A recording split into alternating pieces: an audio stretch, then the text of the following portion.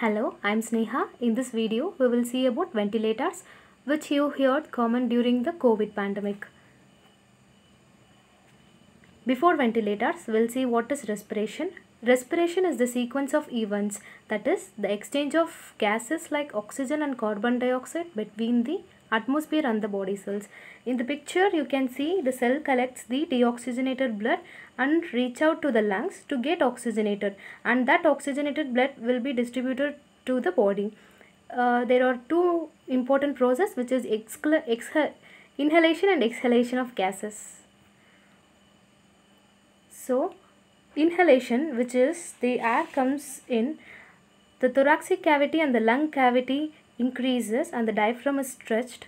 So, that process is known as inhalation. In exhalation, uh, the thoracic cavity and the lung volume decreases and the diaphragm will be relaxed which comes to comes back to the original position so what is ventilator ventilator which is uh, used in medicine it is a device uh, which mechanically move breathable air in and out of the lungs to provide the breathing facility for the patients who is not able to breathe sufficiently why would you need a ventilator?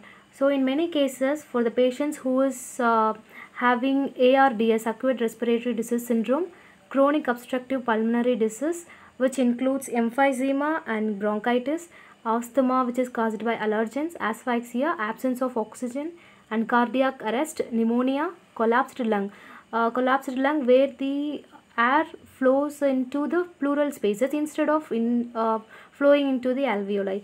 Or coma or loss of consciousness uh, we can say it is a deep sleep condition. Also types of ventilator. There are several uh, ways a person can receive this ventilator support. There is a face mask ventilators and mechanical ventilators and manual resuscitator bags where we need some manual uh, pumping of air into the person. And tracheostomy ventilators uh, the hole is made into the trachea and the air tubes are inserted.